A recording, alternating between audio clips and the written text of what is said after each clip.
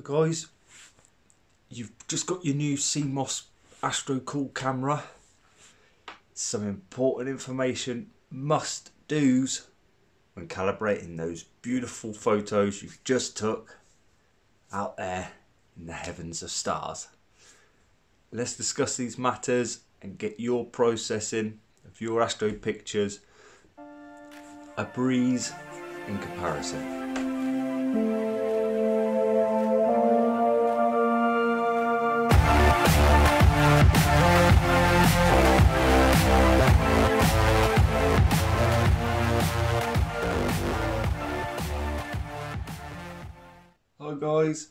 We're here in PixInsight at the minute at Wayne's Cave. Just trying to sort out a few calibration issues with uh, flats, darks, flat darks, dark flats, whichever we want to call it. Warren Keller himself, he's quite specific on how he likes to get the two words the right way around, um, which is fair enough. uh, but um, yeah, I just wanted to quickly just let you know the experience I've just had recently when coming down to calibrating and processing uh, an image of the Rosette Nebula I've, I've just been working on. Um, I say just been working on. Uh, currently, today, it's um, New Year's Eve. So Happy New Year to you all. But um, I've got a fantastic three, four hours. Think four hours. Just over four hours on the Rosette on Christmas Eve. So, uh, there's always a good time for astrophotography, even on the night of Christmas. Uh, so, I just wanted to show you the difference in in flats that I, have I've just let, basically experienced, and, and I was just amazed at and shocked at, at the big difference between doing something right, doing something not quite right.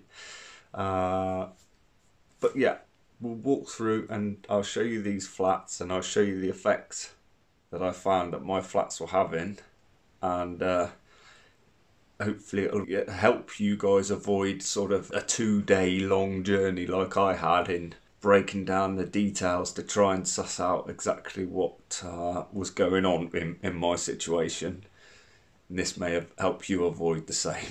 Before we get into the screen, um, I just wanted to show you my flat panel I use, and it's it's just a it's see how thin they are. It's ever so handy, and it's USB powered. It will come. I think they come with a little USB lead.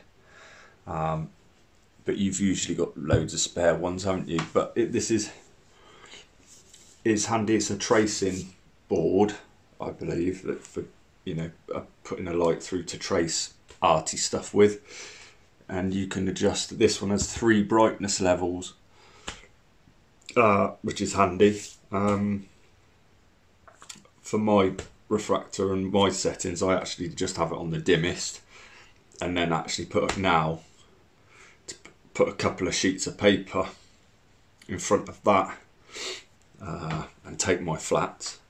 Your flats, I'd, you, ideally, every time a lot of us are taking our telescopes outside, setting it up, but I do bear just bear that in mind. You, you're physically moving it, knowing that that imaging train in the end lens, if there's if there's been a little fly that or a bit of dust or crap on your lens, you don't want to move that when you're carrying it back in the house.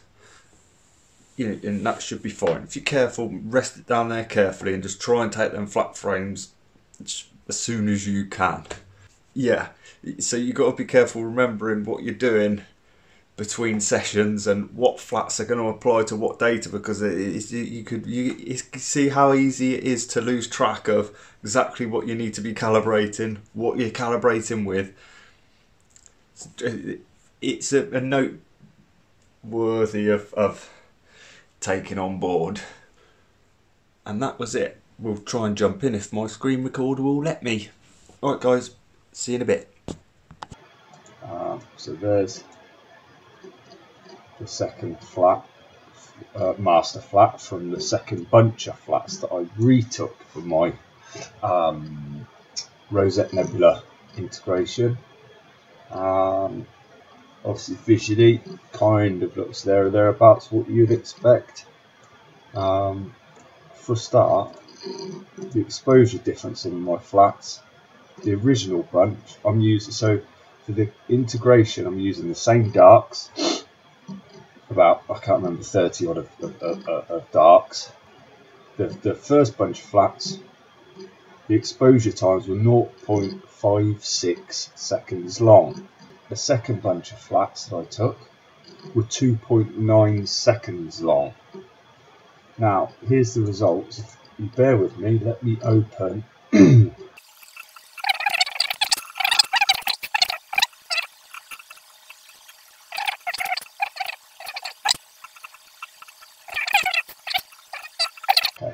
so that's new flats, then original rosette, and uh, the third third trial of integration, well, calibration and integration.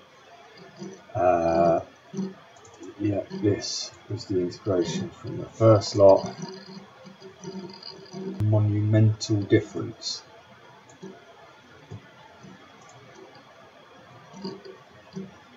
See, these are the same light frames, exactly the same light frames, exactly the same dark frames I used to calibrate. The only difference, and I hadn't moved my imaging train, don't forget, if, if anything, you know, the, these flats on the left that I used, these were took the next morning, you know, so as, as, as close as you can to, to the image acquisition. It was only two days later after banging my head against the wall with this on the left.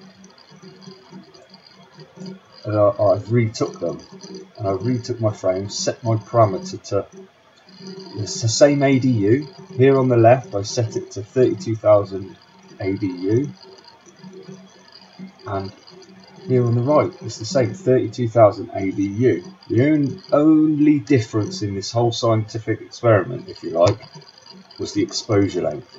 On the left, there's 30 odd flats, maybe even 40 flats, I think I have took. 0.56 seconds long, so just over half a second long. On the right, 2.9, so nearly 3 seconds long. So these CMOS sensors, it absolutely is imperative, and I should not look back from this moment because I know which picture out of these two integrations would you like to process and move forward with because I know this on the right. I would certainly like to face this over this any day of the week. You know if you if you if you think if you're getting sort of stuff like this and it's sort of a messy final acquisition maybe just apps just scrap your flats altogether. If you don't know if you're not 110% committed on your flats and thinking that they're going to actually calibrate something out or calibrate an, an accurate measure, don't include them. And uh, uh, the, this is my for one shot color in my scenario here, and I want to show you why. Just this is the lights calibrated against my darks because that's all I had. But master dark, master light, it's there. Of course it is. Uh, there we go. Let's just stretch this. Look just to show you. It's uh, straight out the cam so to speak. And this I would um, when you look I would much prefer to move forward with this than this. This on the left this rosette on the left was a nightmare. Absolute nightmare. I spent a whole virtually a whole day sat at my computer try, you know trying to learn more and, and, and clean this up not a chance. Not a chance. You know, if I show you, this is what I call the better final, but I'm not 100% committed to that. I could show you the bad examples of that rosette, how, how it didn't sort of, didn't go very well. But, you know, this is, from this on the right, is not a bad effort. This is, to give you an idea, it's sort of 2. 2.9 hours, but of roughly three hours exposure on this with the magnificent QHY268. So there, there we have it guys, and there's zero flat. So I'd rather take the risk, sorry, I'd rather eliminate bad flat calibration totally and take take a punt at cleaning up a shot, um, you know, and integration without it than just bung on a bung on any old flats. Not that I was doing that, but it's only small margins with these flats, and then it could actually do more harm than good. So definitely before you start struggling to proceed with processing your images, like I was doing, suss out what is being calibrated and, and, and just to, to what effect. Well, that's it really guys. Thanks for tuning in and thanks a lot. Happy New Year and may the dark skies be with us.